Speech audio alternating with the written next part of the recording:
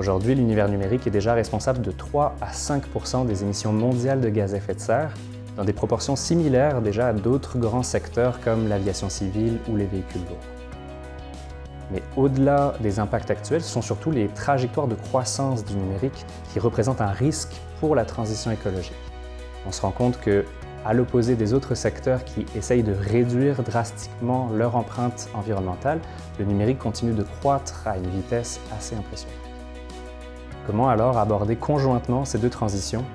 Comment faire en sorte que la transition numérique puisse apporter davantage de solutions pour la transition écologique, tout en maintenant et en réduisant l'empreinte environnementale associée à notre utilisation et fabrication des technologies numériques?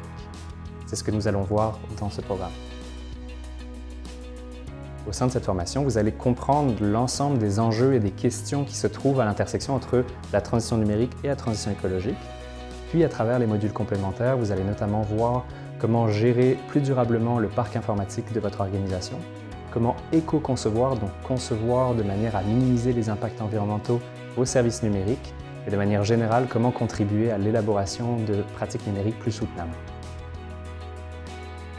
On vous invite donc à vous inscrire à cette formation pour rejoindre les efforts collectifs afin de déployer des pratiques numériques plus responsables.